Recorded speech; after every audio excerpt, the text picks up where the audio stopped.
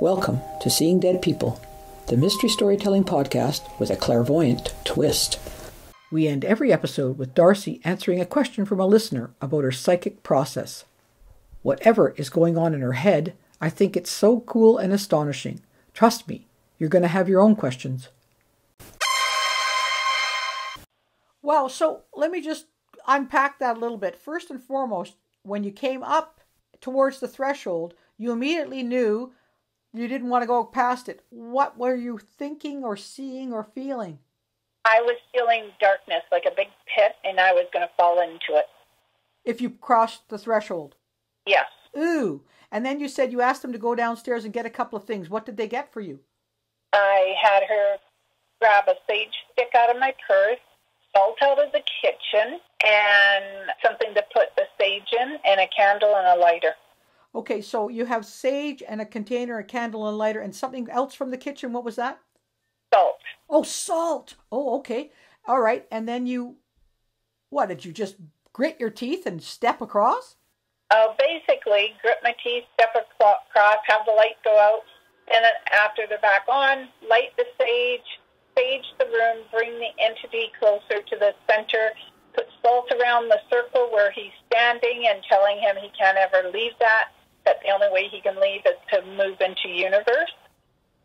And then leave the salt trail all the way out the house so that basically he could follow me out of the house, but he couldn't leave the circle. He couldn't stay in that room anymore. And when you were talking to him, was he responding in any way? Yeah, he was just angry. Okay, so when you're saying you're having a conversation, really it's a one way conversation.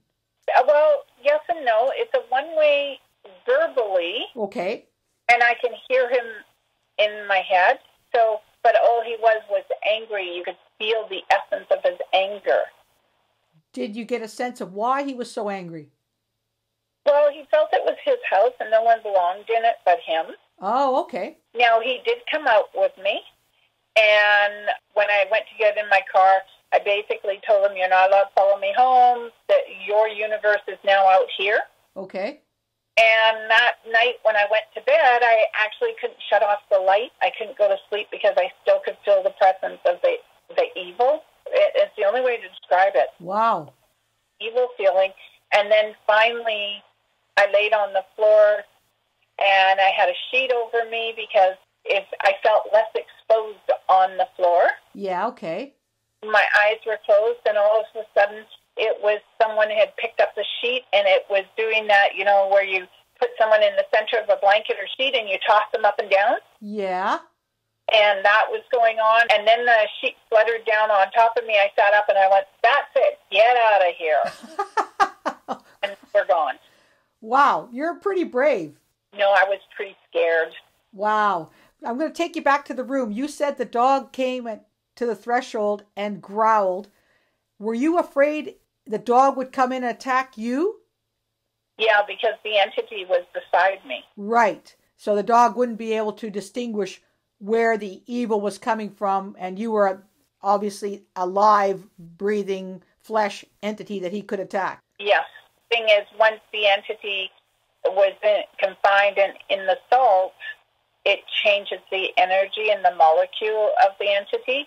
Uh, salt is a purification.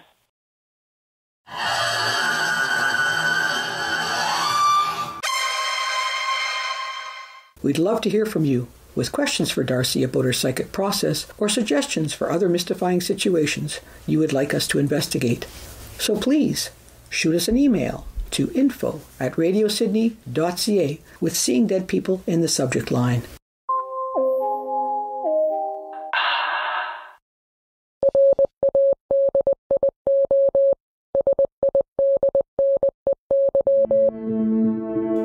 This has been a program of Radio Sidney.